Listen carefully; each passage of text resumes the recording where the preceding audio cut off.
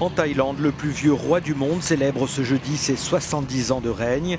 À 88 ans, Rama, 9e du nom, ne participera pas aux nombreuses cérémonies prévues en son honneur. Malade depuis des mois, il a été hospitalisé récemment et n'a pas réapparu en public depuis janvier dernier.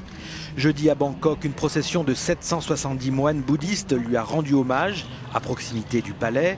Rama IX fait aujourd'hui l'objet d'un véritable culte de la personnalité. Vénéré, il est surtout instrumentalisé par la junte militaire qui a pris le pouvoir en 2014. Arrivé sur le trône en 1946, Rama IX est protégé par l'une des lois de lèse-majesté les plus sévères au monde. En 2015, un homme a été condamné à 30 ans de prison pour avoir publié sur Facebook des messages jugés insultants.